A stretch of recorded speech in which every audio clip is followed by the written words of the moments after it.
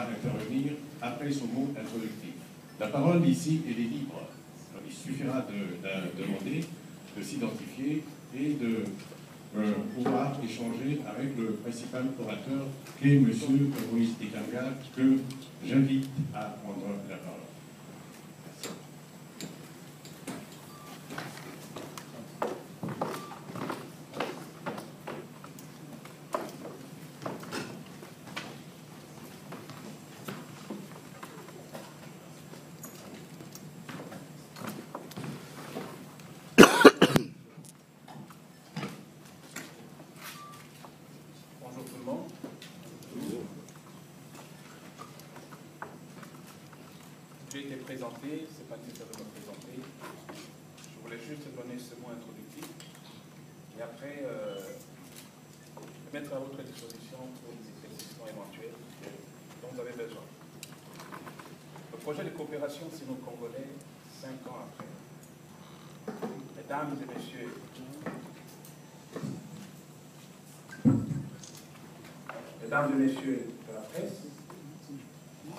date du 22 avril 2008, le gouvernement de la République et le groupement d'entreprises chinoises avaient signé un projet de coopération, une convention de collaboration qui consacre le projet de coopération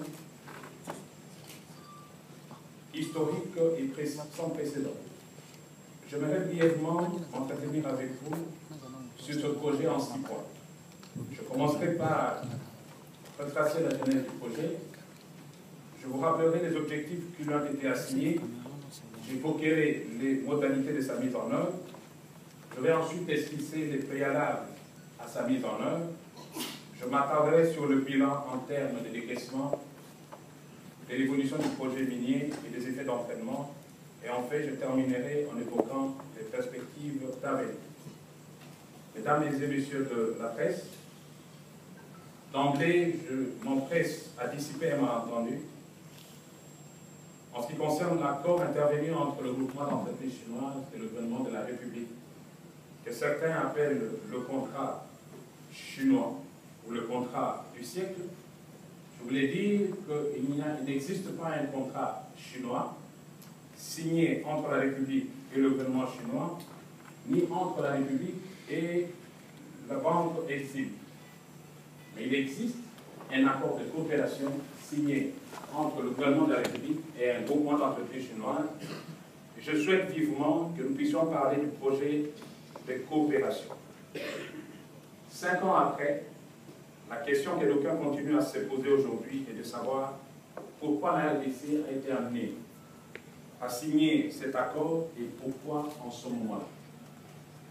Rappelons-nous que lors de son discours d'investiture, le 26 janvier 2001, son Excellence Joseph Kabila Kabangi, président de la République chef de l'État, s'était assigné entre autres comme objectif de mettre fin à la guerre, d'organiser des élections libres et transparentes pour permettre au peuple de se choisir ses dirigeants et enfin se mettre à reconstruire le pays.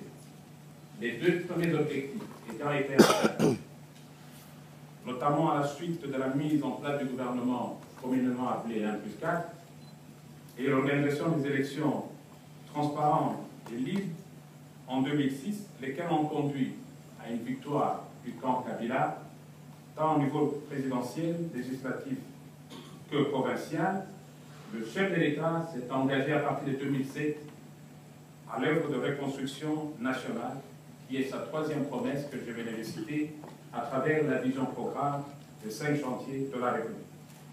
Mais avec quels moyens?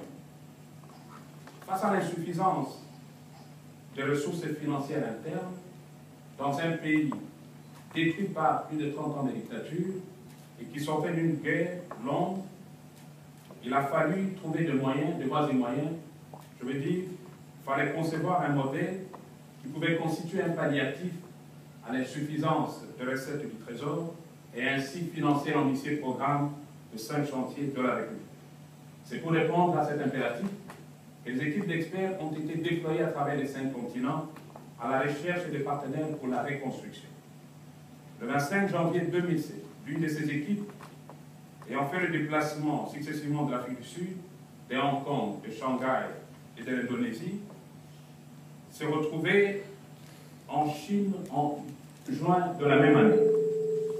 C'est cette équipe qui a participé aux premières concertations avec la Banque de développement de Chine, les entreprises CREC et Sinoido, ainsi que la Banque Exim de la Chine.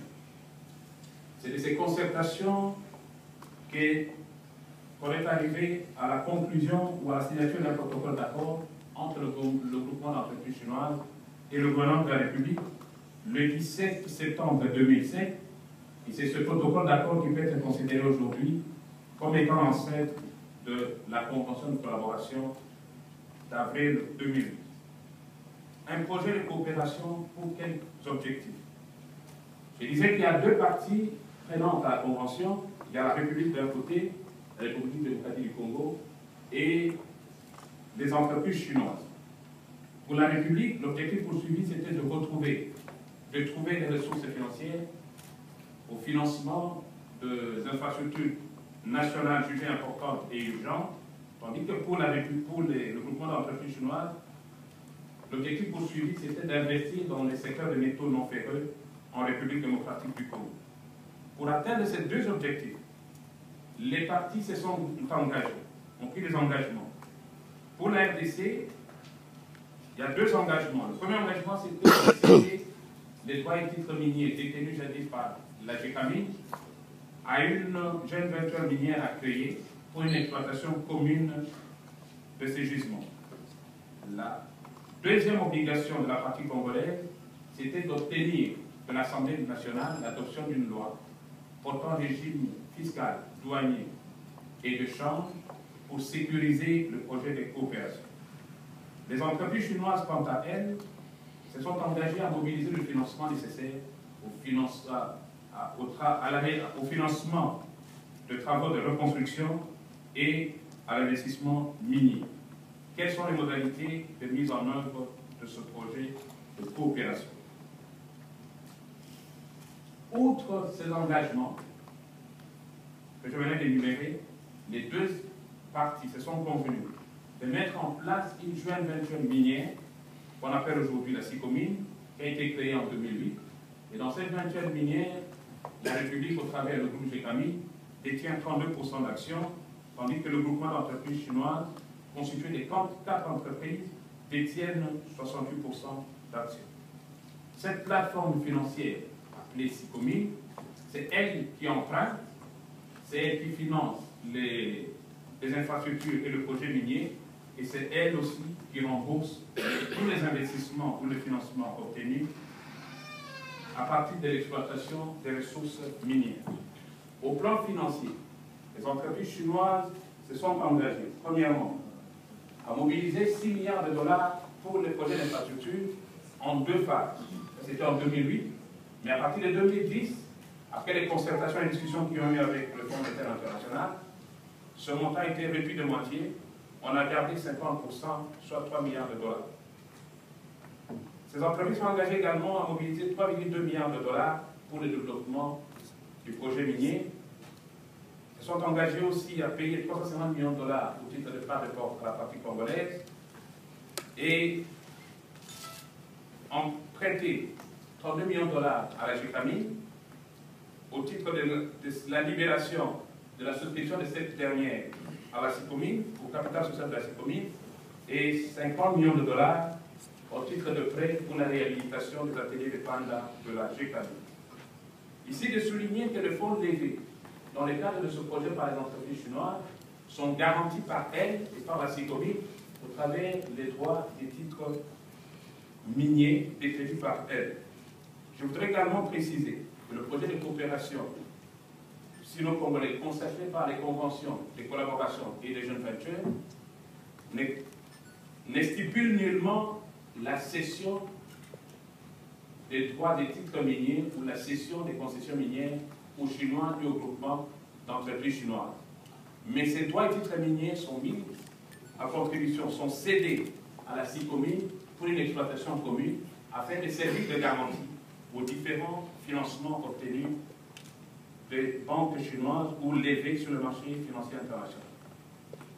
Quant à la valeur des concessions minières, les estimations des 10 millions de tonnes de cuivre en réserve probable avancées par la GECAMINE ont été vérifiées par un bureau d'études recruté par le conseil d'administration de la CICOMI, lequel bureau d'études a retenu le niveau de 6 800 000 tonnes de cuivre de réserve prouvées.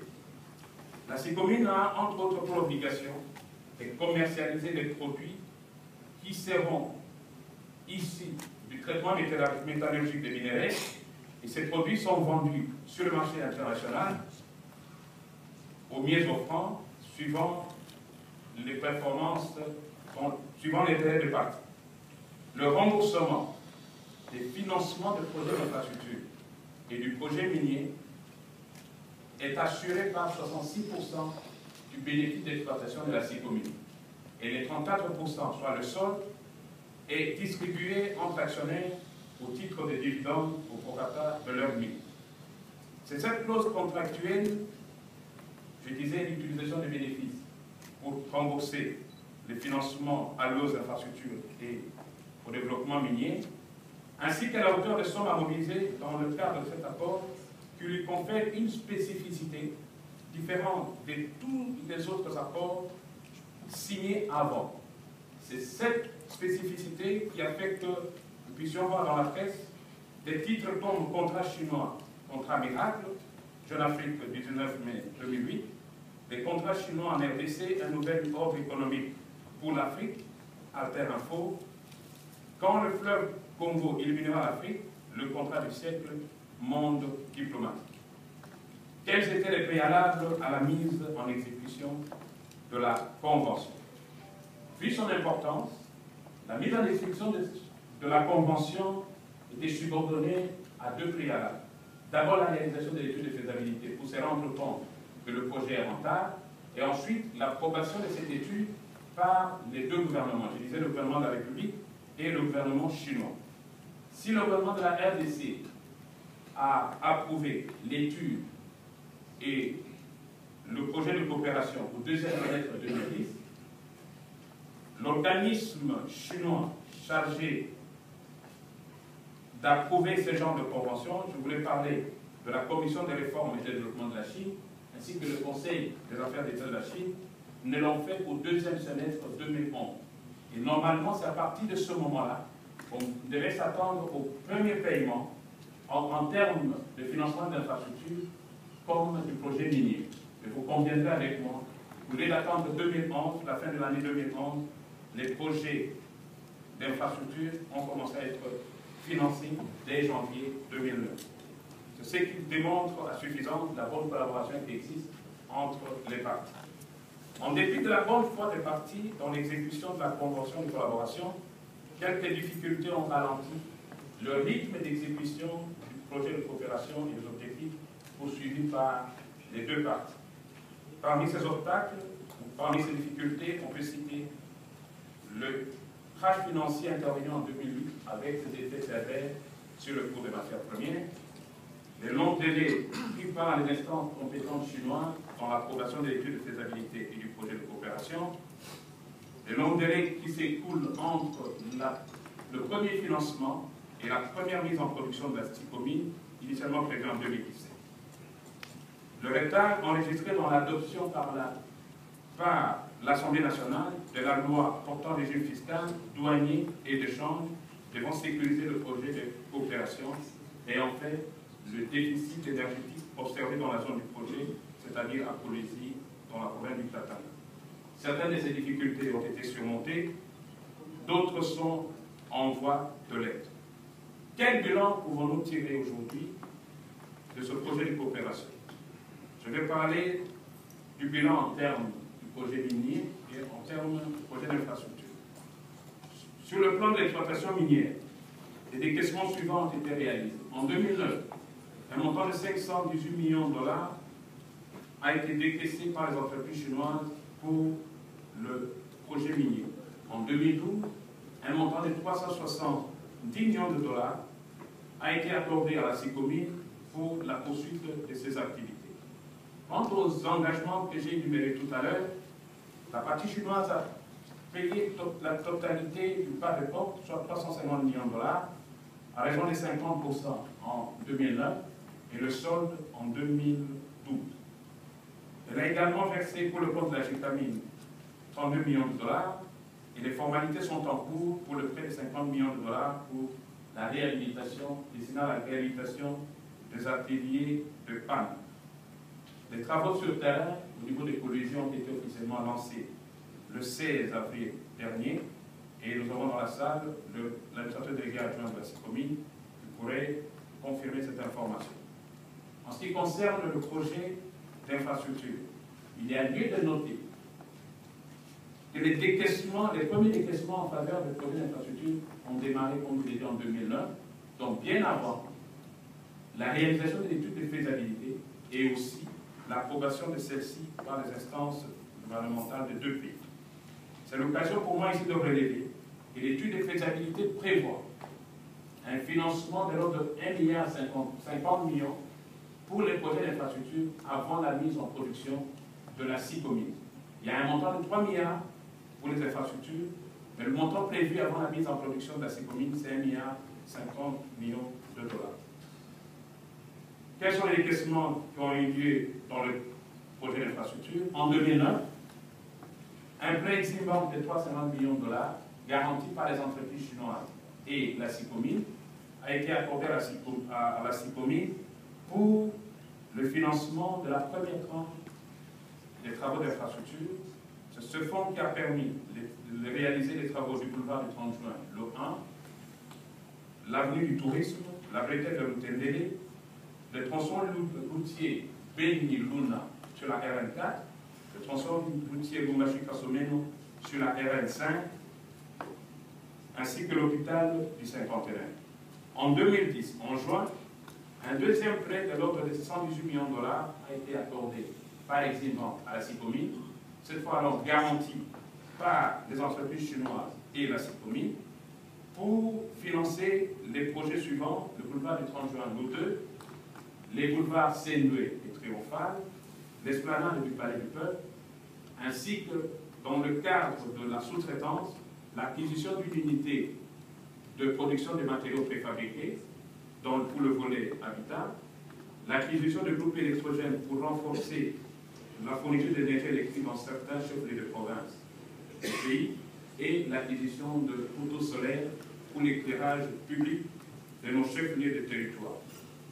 En août 2012, un montant de 328 millions de dollars représentant la participation de la partie congolaise au développement du projet du pour faire face au déficit énergétique dont je parlais tout à l'heure, a été disponibilisé pour financer ce projet. En 2013, en mars, lors de l'Assemblée générale de la CICOMI, le budget alloué aux infrastructures pour le deuxième semestre 2013 est de 53 millions de dollars. Et a une provision de 65 millions pour payer les montants inscrits dans les avenants signés entre la République et les entreprises chinoises pour les projets en cours d'exécution ou déjà exécutés. Comme je l'ai dit, les discussions sont en cours entre la partie congolaise et la partie chinoise pour trouver un autre moyen de financer le projet Boussanga et dégager ainsi les, 328 millions de dollars qui pourront servir euh, de financement des infrastructures pour 2013, 2014 et 2015. Outre ces réalisations, il y a lieu de noter les effets d'entraînement qu'a apporté le projet de coopération à notre pays. Sur le plan international, l'opinion et les partenaires traditionnels se sont rendus compte que la RDC redevenait un pays fréquentable sur le plan économique et financier, un partenaire crédible avec lequel on peut négocier. Bien plus, la RDC se trouve du coup dans une meilleure posture qui lui permet d'obtenir plus, d'obtenir mieux, dans des conditions autrement plus avantageuses. Dans le domaine minier, la convention de collaboration, pour avoir été à la base de la révisitation de contrats miniers signés entre les entreprises de l'État, du secteur minier et les partenaires étrangers, a permis à l'État de voir la position de ces entreprises s'améliorer dans les différents partenariats. Cette amélioration peut être appréhendé par l'augmentation de la participation de ces entreprises, notamment la familles, dans ces partenariats et l'augmentation du pas de porte. Malgré ces ajustements, aucun de ces partenariats n'a atteint les niveaux de conditions offertes par la CICOMINE à la GETAN. Dans le domaine de la reconstruction, le projet de coopération a inauguré une nouvelle ère dans le secteur de construction avec l'afflux de matériel et équipements, équipements de génie civil, favorisant la concurrence dans le secteur, l'émergence d'une main-d'œuvre congolaise qualifiée, la réduction de prix de matériaux de construction, notamment le sable, la caillasse, le ciment, etc. Cet accroissement de la capacité de construction s'est traduit par le boom immobilier que nous sommes en train de vivre aujourd'hui, tant à Kinshasa qu'à l'intérieur du pays. Et le cadre qui nous reçoit ce matin, le fleuve Congo en est une belle illustration. Fort de cette capacité de construction, les entreprises chinoises, notamment CREC et Sinohydro, pour ne citer que celles-là, négocient des contrats d'études et travaux avec le gouvernement ou ses entreprises en vue de réaliser certains projets avec le financement des banques chinoises, essentiellement Exim. C'est le cas pour moi ici de rappeler le projet de construction de la centrale hydraulique des Zongo 2 en exécution, le projet de modernisation de la piste de l'aéroport international de Njili en exécution, le projet de construction des nouvelles aérogares à l'aéroport international de Njili et à l'aéroport de la Loano, la modernisation de l'aérogare de l'aéroport de Kisangani, la modernisation du chemin de fer de Kinshasa-Matadi, la modernisation du port de Matadi, la construction des lignes de transport d'électricité, l'implantation d'une unité de montagne et de fabrication des compteurs basse tension à paiement, le déploiement de la fibre optique dans sa phase 2, etc. etc. Je voulais souligner que tous ces projets, je viens d'énumérer, sont financés ou seront financés pour ceux qui ne sont pas encore en exécution par Exim Bank of China. Contrairement au contrat de partenariat conclu entre les entreprises publiques du secteur minier et les partenaires étrangers, les ressources du pays, dans le cadre de la Convention d'avril 2008, sont mises en exploitation afin de réaliser des travaux d'infrastructure qui sont mises à la, disposition de tous les secteurs de la vie nationale et améliorent quand soit peu la vie de nos populations. Mesdames et messieurs de la presse, après le, le redimensionnement du projet minier à l'initiative de partis, la première tonne de cuivre de la CICOMI, initialement attendue pour 2017, sera disponible à partir de 2015. Le projet de coopération pourra ainsi atteindre sa vitesse de croisière en termes d'investissement en infrastructure et éventuellement ouvrir la voie à une éventuelle négociation pour l'obtention d'une nouvelle ligne de crédit en fonction des résultats du projet minier. Et Dieu bénisse la RDC. Je vous remercie.